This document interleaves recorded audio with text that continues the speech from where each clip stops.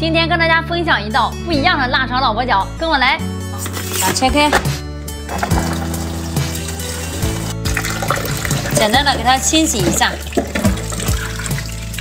下一步哈，倒入锅中去粘液，提前把水烧开，煮上三分钟。这白白的呀，是它的蛋白质哈，粘液已经出来了，捞出来。超过热水的老婆饺呢，捞出来哈，再打入凉水。咱们用这个钢丝球，这样的哈。围着它转一回，第一次清洗出来这么多粘液，反复的第二次用钢丝球这样给它转圈圈，这第三次清洗过的啊，已经非常干净了，几乎没啥粘液了。这个时候呢，咱们就可以爆炒了，葱姜蒜爆香，放入麻辣海鲜料包，